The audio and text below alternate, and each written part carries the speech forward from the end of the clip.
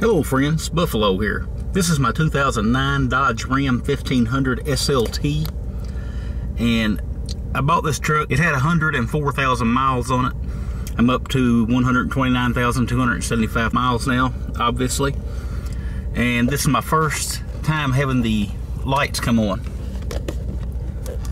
I got my service four-wheel drive light coming on here and the ESP BAS traction control light.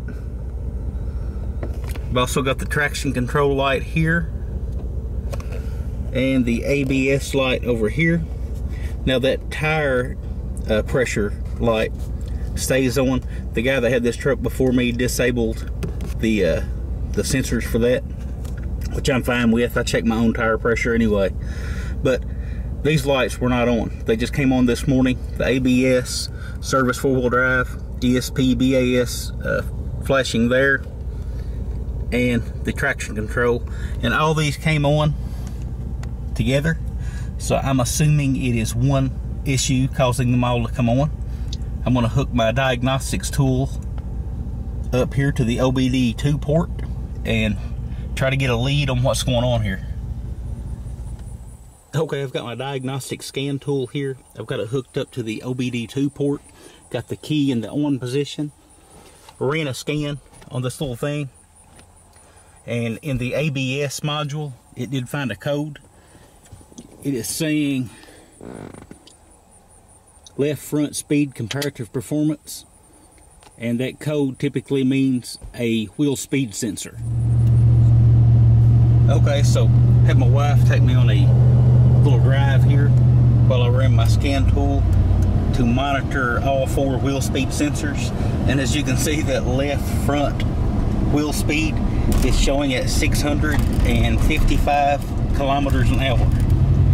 The other three wheels are showing the proper speed. So definitely not moving that wheel that fast. Something's going on with it. I need to pull that wheel off there and have a look.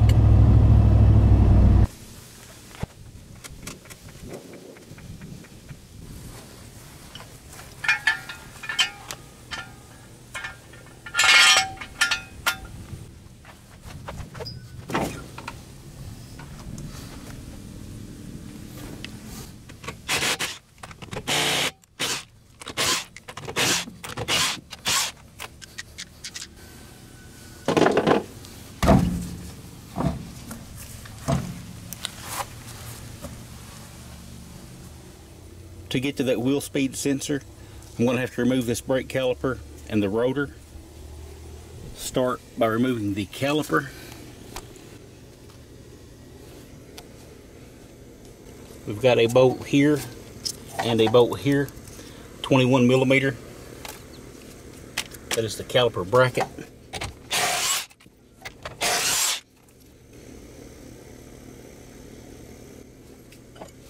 Got a little hanger here. I don't want the caliper hanging by this brake hose. I'm going to use a screwdriver to spread this caliper out just a little bit.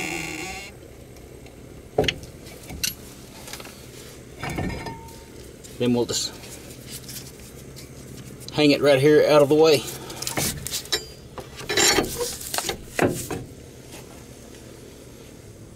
I'm going to mark this rotor before I pull it off. I always like to put my rotors on in the same orientation as I took them off from.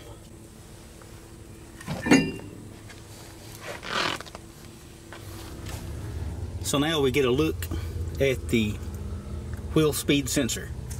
It goes in right here. Little Allen bolt holding it in.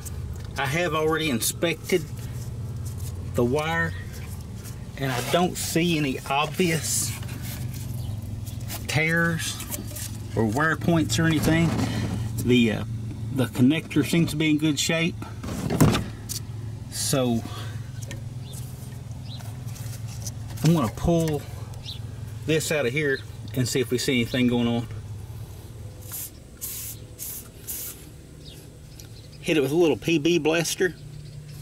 I actually already hit it once. I've been letting it soak for a few minutes. It appears to be a five millimeter hex head. So Let's see if we can get that out of there.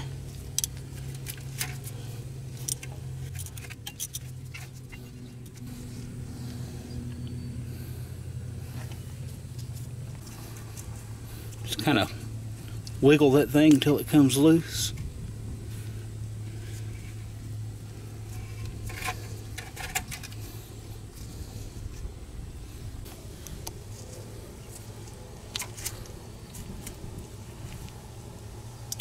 I don't see anything obvious with it. The tone wheel looks like it's in good shape from what little I can see of it. It may just went bad. I'm hoping that's the problem anyway. So I'm going to get a new one of these and we'll pull this one off, put a new one on it, run a diagnostics and see if that fixed it. These are pretty inexpensive, so it's not that big of a deal if uh, if that wasn't the actual cause of the issue, but I believe it is. Just held in place by a bunch of these push tabs. Some of them are loose here and I'm not sure even where they went. But anyway,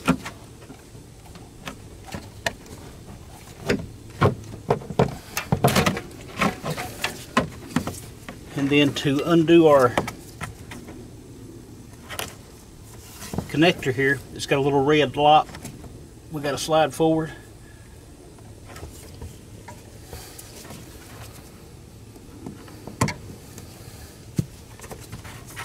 Then press down on it.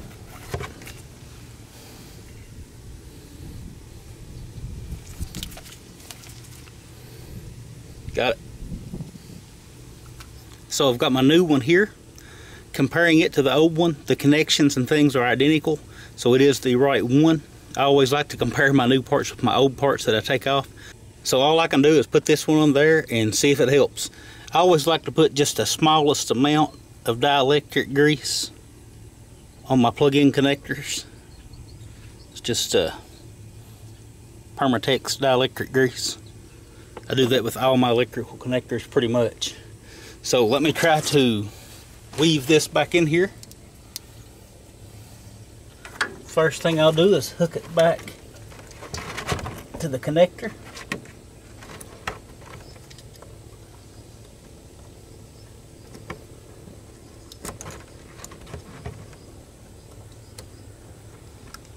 All right, I heard it click, pushed a little safety, and this thing actually snaps in up in here. So that's snapped in place.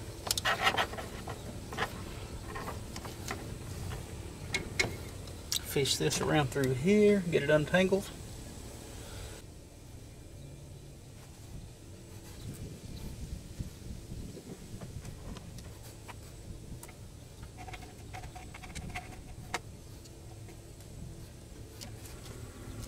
All right, so I'm going to insert my new sensor.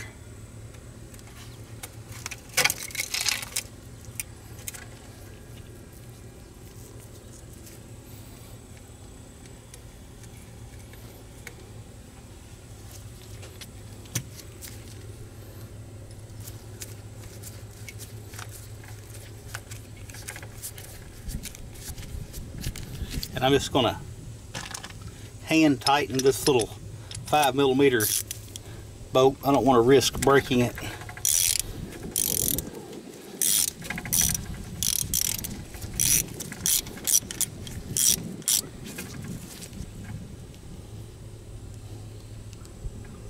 That feels about right to me. Old German torque, good and tight. So now it's just a matter of putting everything back the way it came off.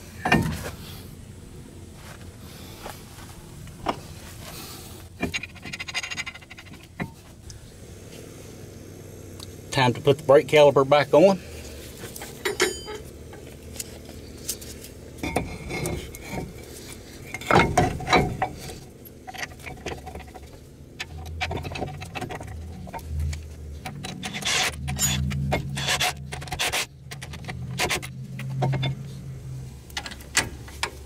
Those torque to 130 foot-pounds.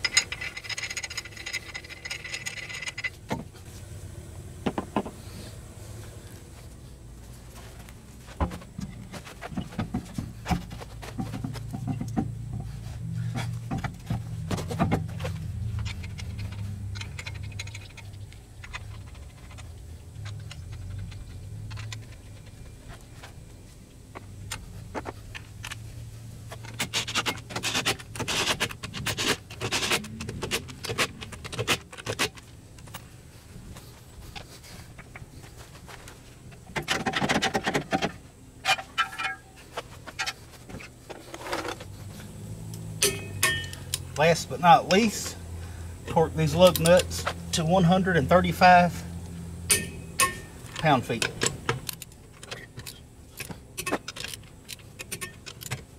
All right, let's double check them all. Nothing left to do now, except to go test this thing out. All right, so I got my hot little mama here to take me for a ride. And guess what? That fixed it. Now all four wheel speed sensors are reading the same.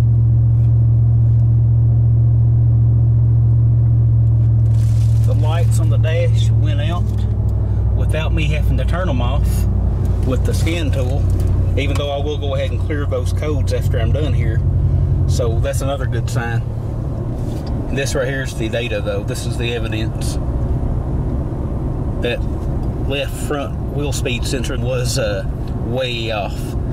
Now it's right in there with the rest of them. We got it. All right, so we got the lights back off. Everything's looking good. Today's video was really straightforward. I didn't have to go in any wild goose chases or anything. Look, I'm not a professional auto mechanic. Some of these videos that I'm going to post, you'll see me struggle trying to find different things, uh, trying to work out a proper diagnosis. Today's was relatively smooth.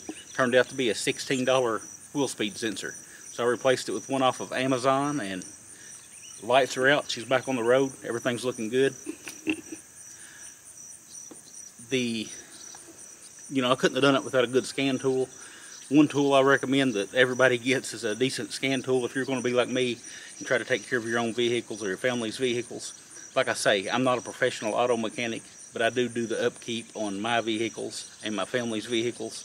So uh, a, a scan tool is a must. Can you imagine trying to track down that wheel speed sensor, which one it was and everything, without some kind of a diagnostics tool to tell you which one it was? It, it would be tough. But I guess that's all I got. Thank you all for watching. If the video helped you in any way or you just enjoyed it, hit that like button, go ahead and subscribe, and I'll talk at you again soon.